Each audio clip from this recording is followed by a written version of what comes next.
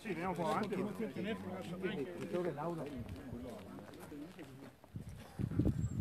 Allora, lasciamo a Don Umberto il compito di poter benedire la struttura. Con la speranza che venga.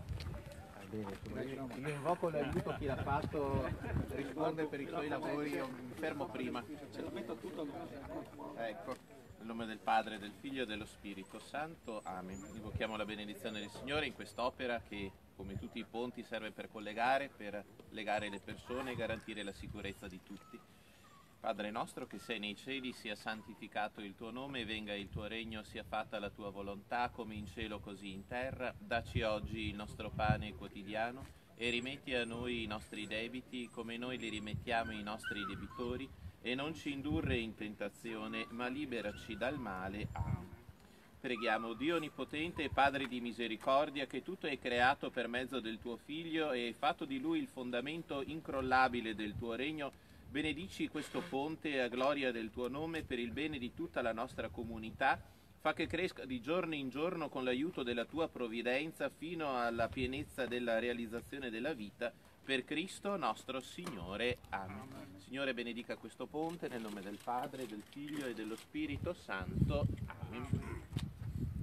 Grazie, grazie Don Umberto, dico due parole, poi tagliamo il nastro insieme. Chiedo anche che siano i cittadini di Raccano a poter tagliare con noi il nastro perché è un'opera che è stata importante in quanto attesa da tempo.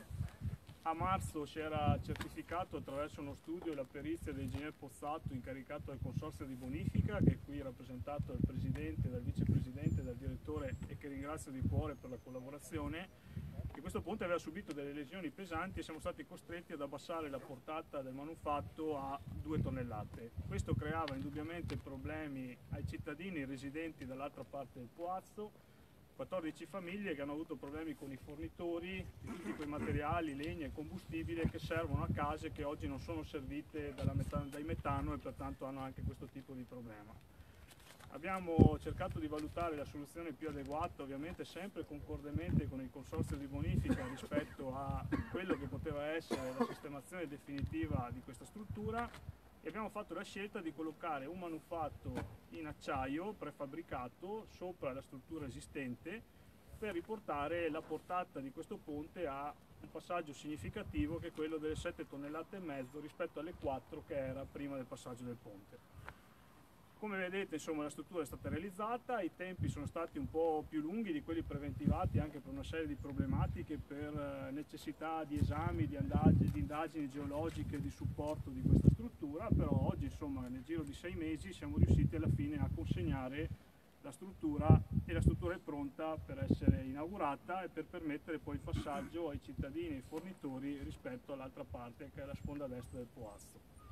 Io ringrazio i cittadini per la pazienza perché quasi tutti sono stati estremamente prodighi di collaborazione e di supporto. A volte qualche protesta c'è stata, però possiamo anche capire perché insomma il problema c'era, le tempistiche in qualche modo si allungavano e forse non tutti credevano che avremmo fatto questo investimento.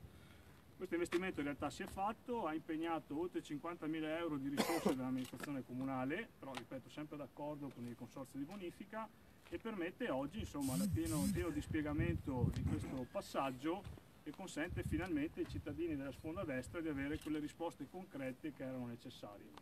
L'ho detto così paradossalmente, questo ponte ha fatto più parlare in questi sei mesi in cui lo stavamo sistemando che negli 8-10 anni precedenti in cui si erano certificati alcuni problemi. Oggi però noi siamo contenti e orgogliosi di poterlo consegnare alla comunità e sono contento che le autorità che sono qui con me possano condividere questo momento importante e atteso. Insomma. Quindi questo è un ponte che le risorse dei cittadini di Polesella consegnano alla comunità e ai cittadini di Polesella che avevano avuto questo problema. Io ringrazio tutti per la vostra presenza e vi invito a poter tagliare con me il nastro, ovviamente il Presidente del Consorzio di Bonifica, eh, a Don Umberto. Eh, a Pietro Giusto che è il nuovo comandante della stazione dei Carabinieri e comandante, ma anche i cittadini di Raccano che vorrei proprio fossero con me in questo momento perché il ponte è soprattutto per loro che sono stati quelli che hanno pagato maggiormente dati per le difficoltà che si era generata. Quindi ci possiamo avvicinare così volentieri, grazie. Presidente, direttore, vice, e ci almeno qualcuno di Raccano che venga con me a tagliare perché... eh, io aspetto di qua. Passa, passa di qua No, che no, tagliamo. No, qua. no, vieni a tagliare Io- insieme così. Dai, Ci siamo? no, No, no, eh, anche ci siamo? Eh, possiamo tagliare? Allora, tagliamo volentieri, ecco qua. È perfetto, oggi questo ponte unisce e non divide più.